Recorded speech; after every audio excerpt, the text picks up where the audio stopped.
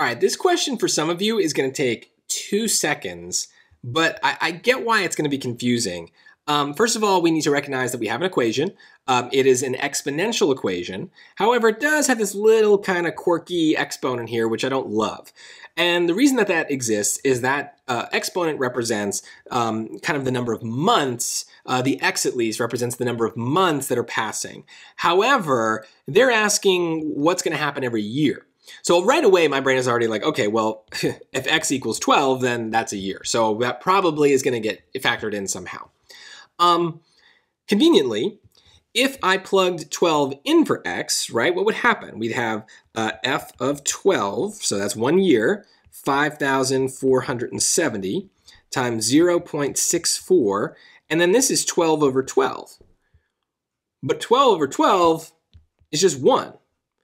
So a year is a nice happy number here because it makes us kind of return to the normal exponential, which doesn't have any fractions or any weird things going on.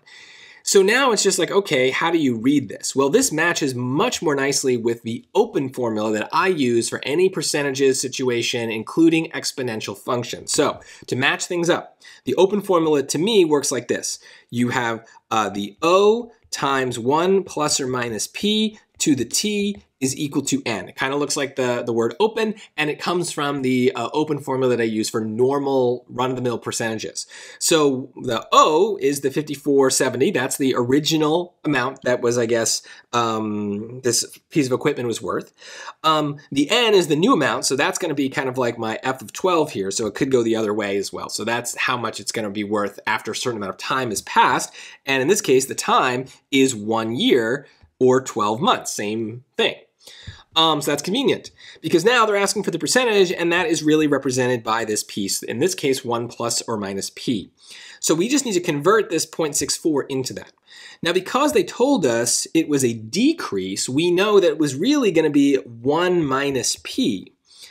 And so this is where it gets a little quirky, is 1 minus p is the 0.64 right? So notice that if we were kind of building this equation from scratch, we would we would take some percentage, we'd plug it in for p, and then we'd 1 minus that number, and then we'd be left with the 0.64. So we have to kind of backtrack. Where did this come from, this 0.64? The percentage that they're asking for is not 64. That's the trap. And we should sense that that's a little too easy. We're getting too close to the end of the section where we would expect these kinds of shenanigans to kind of mess with us, but there's a little bit of a twist, and it's fine if we understand the formula because we can kind of untwist the question. All we need to do here is solve for p. So we'd subtract 1, and we'd get minus p is equal to negative 0.36, drop those negatives, and we get p is 0.36, which Whenever we have this open formula, the percentage is written as a decimal, so that is uh, actually 36%, choice C, and that's the answer. Um, yeah, that's how I would do it.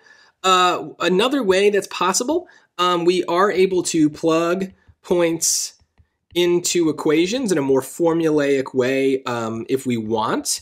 Uh, we clearly have an equation.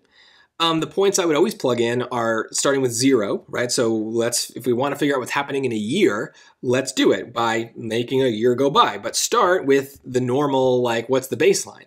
And if you plugged it in, you get 0 over 12, it's 0, and then 0.64 to the 0 is 1. So it's kind of, you know, this is why the original value is the y-intercept, the starting point. So that would be our first point. Then after a year goes by, 12 months, we would just plug that in, and now I could use the calculator. So I'd have uh, 12 over 12 is 1, so 0.64 to the 12th is a very small number. I'm going to multiply that by 5,000. Oops, sorry. Oh, no. See, I'm doing 0.64 to the first. So 0.64 times 5,470 is uh, 3,580 cents. Now, from there, I can just find the percentage manually because I have two values, right? I have a starting value and then the value after a year. So now I would use my more traditional open formula, which just says, okay, well, what's the what's the difference and decrease? So um, for this, uh, I guess I'd still use the 1 plus or minus p. Um, what are they asking for? Yeah, if the value decreases each year by p percent, right? So we would actually need to find the decrease. So Mm, I don't like this method, but I'm going to do it.